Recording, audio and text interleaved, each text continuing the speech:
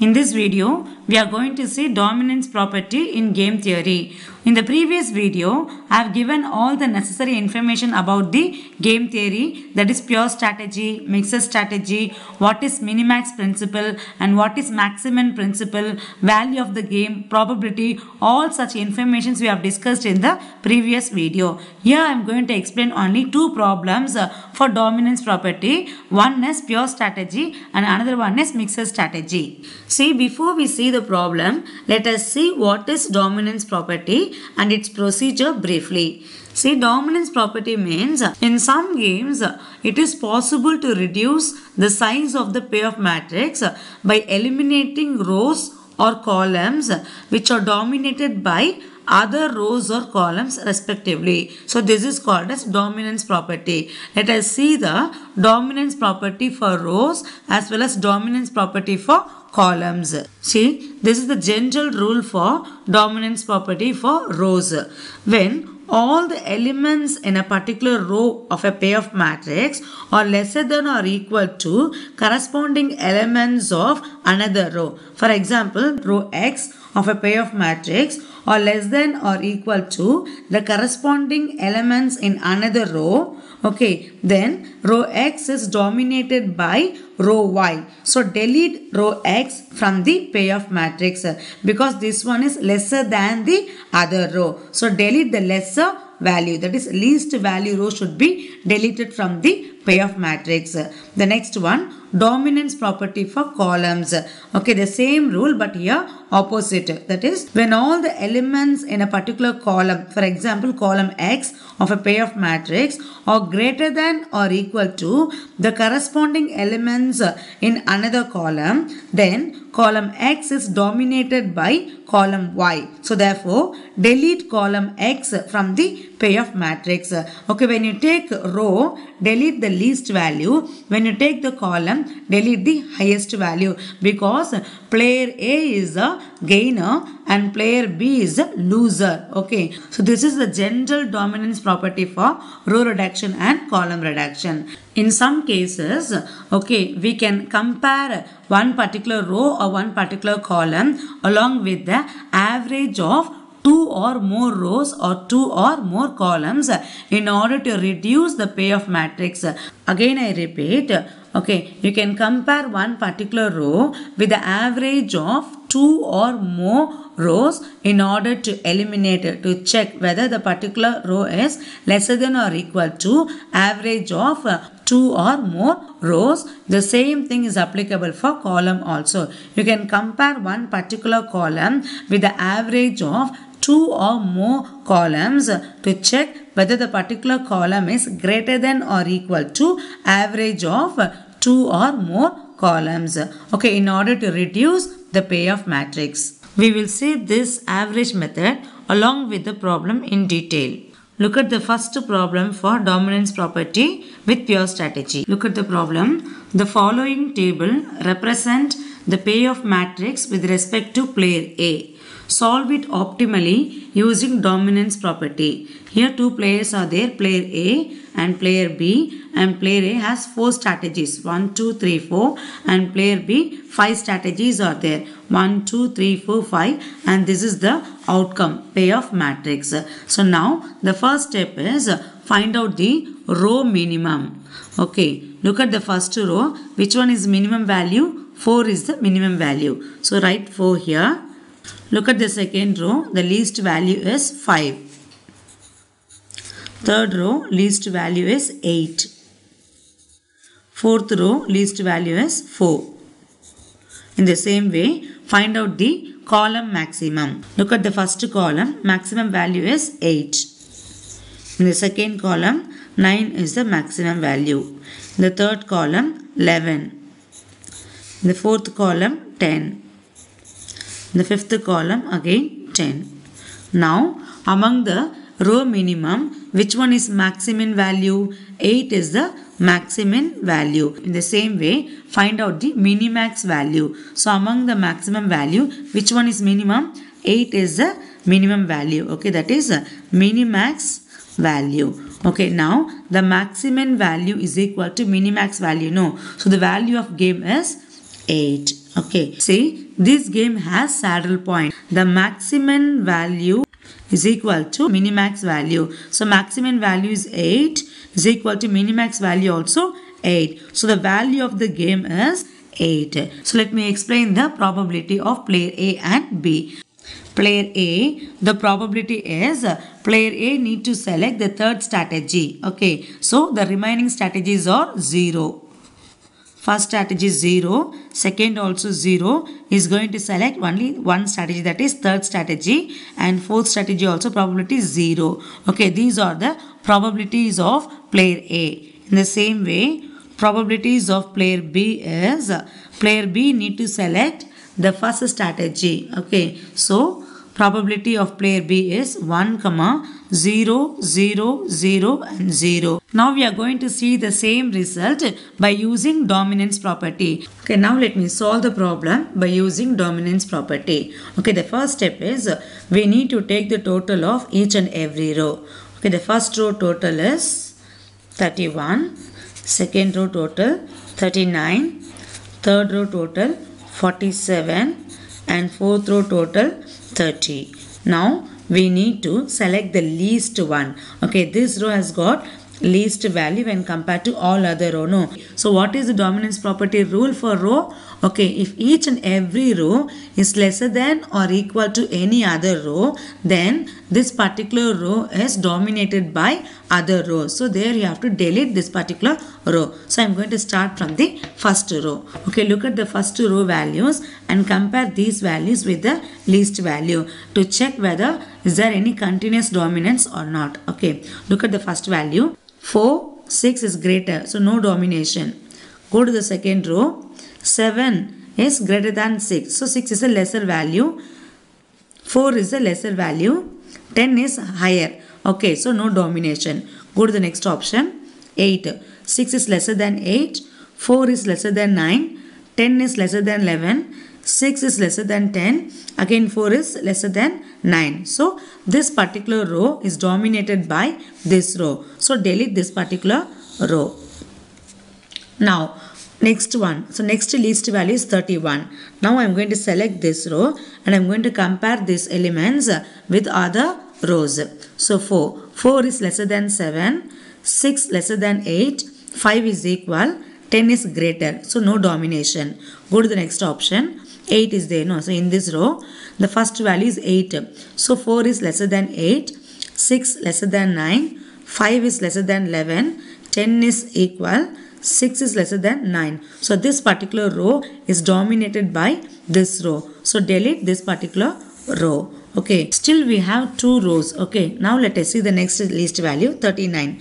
So take the 39 and check whether it is dominated by this particular row. 7 is least, 8 also least, 5 is least, 9 is least, but 10 is greater. So no continuous domination. See, in pure strategy, we try to reduce the size of the matrix as much as possible. So what is the next value? 47. So compare these values with the previous one. See 8 is greater than 7. So no dominance. Now we can go for the column reduction. After row reduction, now we have two rows and five columns. Now we need to reduce columns. Okay, for that, first find the total of each and every column. The first column, 7 plus 8, 15. Second column total, 17. Third one, 16. Fourth one, 19 and fifth also 19. What is the dominance property for column reduction? The selected column element should be greater than or equal to any other column. Then the selected column can be deleted. Okay, for that I am going to select the highest value. So here we have got two 19s. No, take the first one and compare these values with the other elements. So let me start with the first column. 7. Okay, here 9. 9 is greater than 7. 10 is greater than 8. This column is dominated by the first column. So delete this. Go to the second highest. Again 19 we have. Select this particular column and compare with the other elements. So take the first one. 10 is greater than 7 and again 9 is greater than 8. So this particular column is dominated by first column. So delete this. Next highest 17. select this particular column and compare 8 is greater than 7 again 9 is greater than 8 so this column also dominated by the first column. So delete this column. Now we have only two columns. Okay what is the next highest? 16 okay select this particular column. See 5 7 so 5 is lesser than 7 so no domination. See in pure strategy we try to reduce the size of the matrix as much as possible now go to the last option. Okay see this particular column and compare with this particular column. 7 is greater than 5 okay and 8 is lesser than 11 so no continuous dominance. Now we can go for the next option that is row reduction. See, after column reduction, now we have two rows and two columns. Now we can go for row reduction. We have two rows now. Okay, what is the procedure? The selected row value must be lesser than or equal to others row value. Okay, look at the first one, 12 and second one, 19. So which one is least? 12 is least. And compare this value with the other row. 7 is less than 8 and 5 is less than 11. So this particular row is dominated by second row. So delete this row. So now we have only one row. Now we can go for column reduction. The selected column must be greater than or equal to other column. Okay, we have two columns now. So which one is highest value? 11 is the highest value. So this will be got cancelled. So we have only one element. This is the selected strategy. Okay. So player A need to select third strategy. The remaining strategy probability will be 0. For player A, probability is first strategy 0, second one 0, third one selected, fourth one 0. Okay. For player B, player A need to select third strategy and player B need to select the first strategy. The probability is for player B, he is going to select the first strategy. The remaining strategy probability will be 0. Okay, the value of the game is 8. This is the way to find the value of the game and probabilities of player A and player B by using dominance property with pure strategy. Look at the second problem. Now I'm going to solve this problem by using dominance property with mixed strategy. Okay, first we need to find the row minimum. In the first row, minimum value is minus 3. In the second row, minimum value is minus 4. In the third row, minimum value is minus 4. Among these minimum value, which one is maximum value? Minus 3 is the maximum value. Now find out column maximum. The first column, maximin value is 5. Second column also 5. Third column 4. Fourth column also 5. Okay, among these values, which one is minimum value? 4 is the minimax value. Okay, now this point has no saddle point. Why? Because maximum value is not equal to minimax value. Okay, maximin value is minus 3 and minimax value is 4 which is not equal. Now you need to proceed dominance property to reduce row and column. In order to eliminate the row, just find the total of each and every row and find out the least one. First row total is 9, second one 10 and the third one 0. Among these value, which one is least? 0 is the least value. So just check these rows values uh, whether these values dominated by any other row. I am going to start with the first row. Okay, 4 is lesser than 5, minus 4 is lesser than minus 3, minus 3 is lesser than 3 and 3 is lesser than 4. So this particular row is dominated by first row. So delete this row. Now we have only two rows. The next least value is 9. No, just check this particular row. Okay, 5 is greater than minus 4. So no dominance. The next value is 10. Okay, this is the last possibility. Now compare these values with the previous row. Minus 4 is lesser than 5. 5 is greater than minus 3. So no dominance. So now we can go for column reduction. In order to reduce the payoff matrix into 2 by 2. After the elimination of third row, now we have first row and second row and four columns. Now we need to reduce the column. No, for that just find the total of each and every column. The first column total is 1, second one 2, third one 7 and fourth one 9. So among these value, which one is highest value? 9 is highest value. Now compare these values with the other column in order to eliminate this particular column. So now I am going to compare these values with the other column to check the dominance property rule. Okay, the dominance property rule for column is uh, the selected column value must be greater than or equal to other columns. Okay, now I am going to start with the first column. The first column value is 5. This one is lesser value. So no dominance. Go to the second column. Minus 3, 4. 4 is greater. 5, 5 equal. So this particular column is dominated by second column. So this one will get cancelled. Now next highest value is 7. So now I'm going to compare this column values with the other column values. So let me start from the first one. Okay, 5, 3. Okay, 3 is least value. So no dominance. Go for the second one. Minus 3, 3. Yes, higher value. 5, 4 least. So no dominance. Okay, now you can go to the other option. Now I'm going to select this column.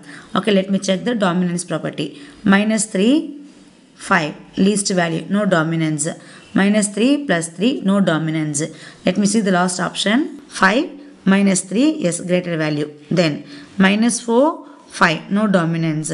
Go to the last option. 5 3 yes higher value. Then minus 4 plus 4 no dominance. So now in this situation you can take average of any two columns and compare with the other column in order to check the dominance property. Okay. So now i'm going to take the first column and second column average. So 5 minus 3 divided by 2 2 by 2 is equal to 1 minus 4 plus 5 divided by 2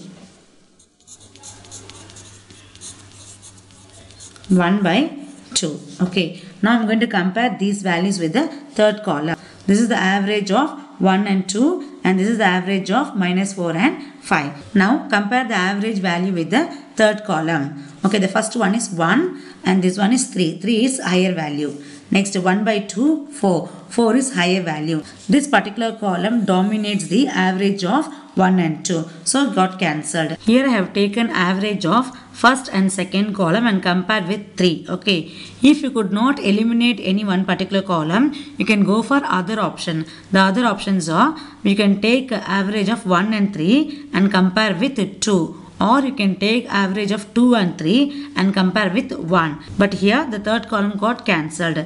Now we have got a 2 by 2 payoff matrix. With this we can proceed to find out the probabilities and value of the game. Okay, in order to find out the probabilities and value of the game, first you need to find out the oddments, row oddments and column oddments. So the first one, find the difference between these two and write it against second row. Okay, 5 minus minus 3 is equal to 8. In the same way, for the second row, 5 minus minus 4 is equal to 9. In the same way, you need to find the oddments for first column and second column and find the oddments for the first column and write it against second column and find the oddments uh, for second column and write it against first column. So 5 minus minus 4 is equal to 9 and 5 minus minus 3 is equal to 8. These are the row oddments and column oddments. Now we can go for the probabilities. Okay, for the first one, 9 divided by 9 plus 8 is equal to 9 by 17. For the second row, 8 divided by 9 plus 8 is equal to 8 by 17. In the same way, find out the probability for columns also. 8 divided by 8 plus 9 is equal to 8 by 17. For the second column, 9 divided by 8 plus 9 is equal to 9 by 17. These are the probabilities of row and column. Now you can find the value of the game. So what is the procedure? 5 into 9 plus minus 4 into 8 divided by 9 plus 8. So value of the game is equal to 5 into 9 plus minus 4 into 8 divided by 9 plus 8 is equal to 45 minus 32 divided by 17 is equal to 13 by 17. Okay, the final answer is 0.76. Okay, this is the value of the game. So probability of player A is